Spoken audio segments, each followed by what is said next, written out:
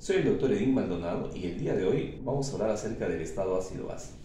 El estado ácido-base es la concentración de ácidos y bases que existe en nuestro organismo para que funcione en una perfecta homeostasis. Vamos a tomar una muestra de sangre arterial y vamos a llevarlo a nuestro equipo para poder medir el estado ácido-base. Principalmente vamos a medir el pH que tiene un valor de 7.35 a 7.45 PCO2 de 35 a 45 y el bicarbonato de 22 a 26.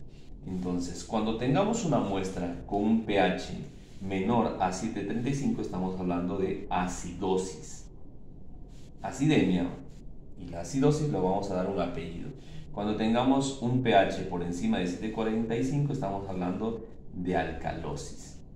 Después nosotros tenemos en nuestro organismo mecanismos de compensación. Cuando la alteración primaria identificamos que es el CO2, PCO2, vamos a ver cómo está el pH para poder ver el PCO2. Ejemplo, tenemos un pH con menor a 35, estamos hablando de una acidosis para este lado.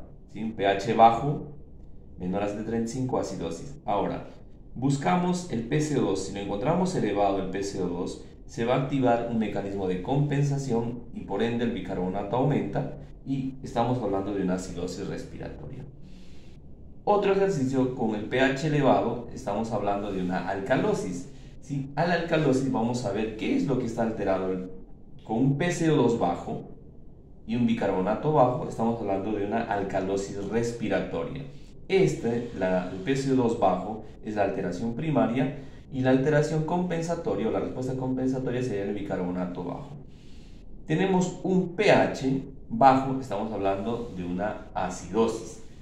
A esta acidosis hay que buscarle la alteración primaria. El bicarbonato bajo estaríamos hablando de una acidosis, una acidosis metabólica.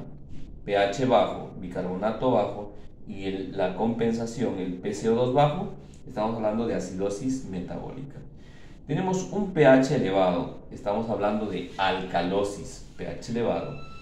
El trastorno o alteración primaria del bicarbonato elevado, con el PC2 elevado, estamos hablando de alcalosis metabólica.